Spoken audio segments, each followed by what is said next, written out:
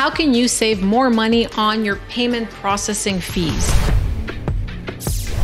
Now, this is a question that I get almost every day. As the founder of Direct PayNet, I help thousands of merchants with their payment processing. And one major question that we get often is how can I save money on accepted credit card transactions? So, today I'm going to give you some quick tips on how to save more money so you can make more profit in your business. Saving money on your merchant processing fees is more than just calling your processor and trying to get, you know, some discounts and so forth. There are a couple of things that you can actually do on your end to save some money. So first of all, what you need to do is you need to collect as much information as possible on your customers.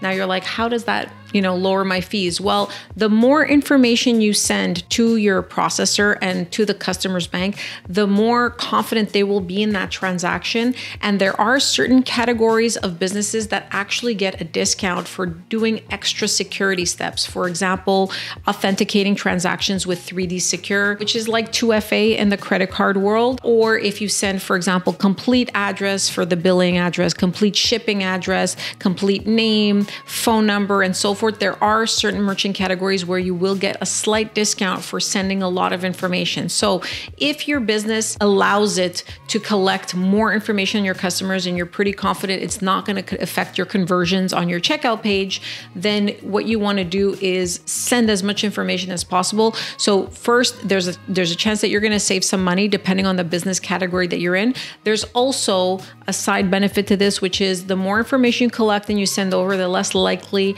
that the customer will be able to charge back. So you kind of save a little bit of money on the dispute risk side. When the customer's bank sees a lot of information about a transaction and a customer calls in and says, you know, hey, I never bought this or is disputing, they're going to give them a bit of a harder time. So again, that is a twofold benefit there. You're going to save money on the front end by sending more information to the uh, customer's bank, and you will probably get a lot less disputes and a lot less chargebacks because you're able to secure that transaction with more information. Now, another thing that's really, really important and it's just wasteful is trying and retrying decline transactions.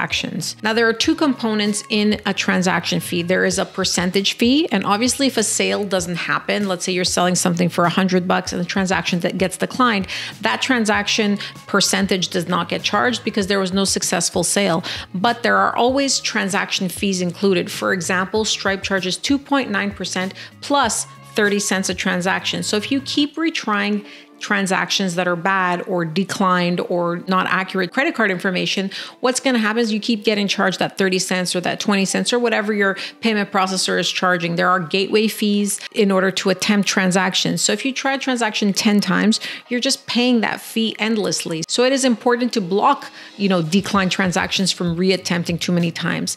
Within your gateway or within Stripe or whoever you're working with, what happens is that there are measures that you can put in place to block a certain after a certain amount of attempts. So for example, you could say after two attempts, we're blocking this card for 24, 48 hours, whatever the case is. You want to make these rules and put them into your gateway so you can avoid paying these 20 and 30 and, you know, different transaction fees that you're paying for absolutely nothing because if I try right now with my credit card and it gets declined, it's not going to magically get approved within, you know, a couple of seconds later. Keep that in mind is limit the amount of times that you try decline transactions and if you do want to retry decline transactions, for example, for subscriptions or recurring orders, what you want to do is you want to wait a couple of days in between a decline transaction. So if you try today, it doesn't work, you want to wait, you know, three or four days before you try again for attempting to make it successful at that point. Now, as I was saying earlier, depending on your merchant category code, there could be some ways to save money by sending more information.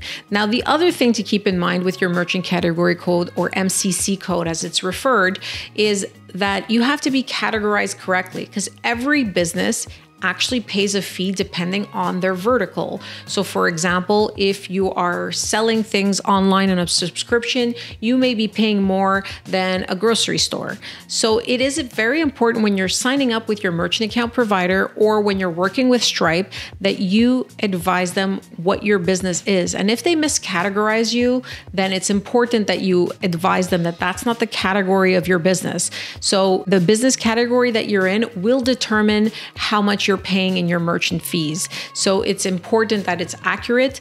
And if it's possible, sometimes it's, you know, sometimes I see this often. A business could be within two or three different categories. And what we do here at Direct PayNet is that we make sure that we choose the category that would give you the lowest merchant fees. So keep in mind, you know, to look through different MCC codes or merchant category codes to really find which which ones your business is applicable to. And then you can find the rates and fees that are associated to that business category. So there are some merchant account providers that charge a flat rate, and there are some merchant account providers that charge something called Interchange Plus. Now, Interchange Plus is cost plus pricing, which is the cost of what Visa and MasterCard charge plus a certain percentage. Usually, that type of pricing is actually going to be more beneficial to you, especially if you know what's happening with your merchant category and you're able to choose the best merchant category with the lowest fees that responds to your business. So keep that in mind that there's two types of pricing cost plus or interchange plus, as we call it in the industry, or a flat fee. And it's not necessarily that the flat fee is going to be better for you.